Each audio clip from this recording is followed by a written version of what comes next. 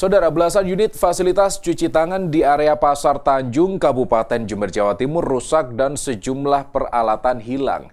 Kondisi memprihatinkan itu justru terjadi di tengah upaya pemerintah menegakkan protokol kesehatan untuk menekan sebaran virus corona.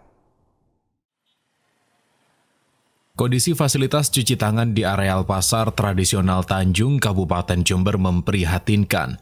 Sejumlah peralatan tidak berfungsi dengan baik, mulai dari keran rusak dan hilang, bak cuci tangan kotor, tempat sabun dan tisu rusak, bahkan di bak cuci tangan terdapat sampah plastik. Warga menyayangkan rusaknya fasilitas cuci tangan di tengah gencarnya pemerintah menegakkan protokol kesehatan untuk menekan sebaran virus corona. Dari pengakuan warga, kerusakan terjadi sejak empat bulan terakhir dan belum diperbaiki.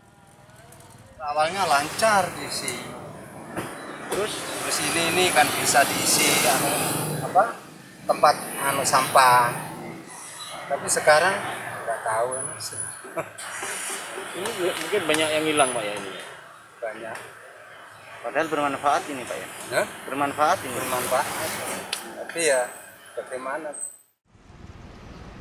Pihak Satgas Penanganan COVID-19 Kabupaten Jember masih mendata kerusakan fasilitas cuci tangan di seluruh pasar tradisional agar bisa segera diperbaiki.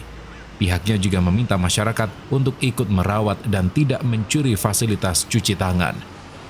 Uh, kita belum cara cara rinci jumlah-jumlahnya kan kita belum. Nah itu kan laporan-laporan dan tetap kita tindak lanjuti di eh, masing-masing uh, tempat itu ya mungkin banyak kan yang di sekolahan karena uh, masih mau dipakai kemudian uh, baru untuk pembelajaran kan baru kemarin itu kemudian dicek di pas beberapa pasar juga sudah digunakan bisa ya sudah satu, apa, satu tahun itu kan Tekad berperang melawan virus corona akan sia-sia jika fasilitas penunjang protokol kesehatan rusak atau tidak tersedia. Tim Liputan Kompas TV Jember, Jawa Timur.